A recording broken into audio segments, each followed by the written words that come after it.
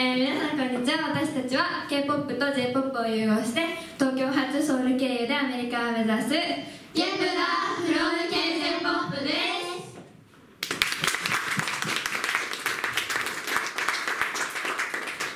以前は私たちは KJ-POP ガールズグループ練習生という名前だったんですけど CD デビューが決まったのでユップダという名前に改名しました。はい今日は私たちの初めてのインスタライブイベントです。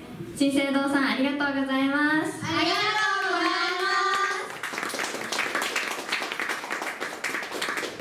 はいまずは順番に自己紹介をします。私たちは全員日本と韓国のハーフだと言われていますので日本名と韓国名があります。はいソヨミエです。イエーイ。高校1年生の15歳です。はいよろしくお願いしますでは夢はいゆりゆめですイエーイ中学2年生14歳ですよろしくお願いしますイエーイ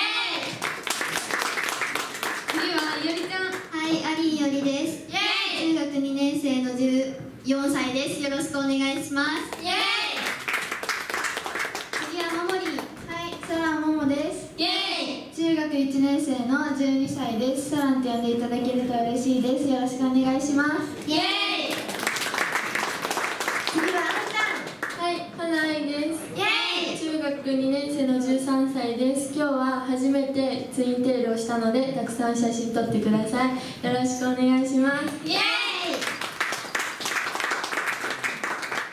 はい続いては11月9日発売11月9日発売の私たちのデビュー曲ですこの曲は TWICE さんの曲を作っている韓国の先生に作っていただきました聴いてください「ウィッシュウィッシュ」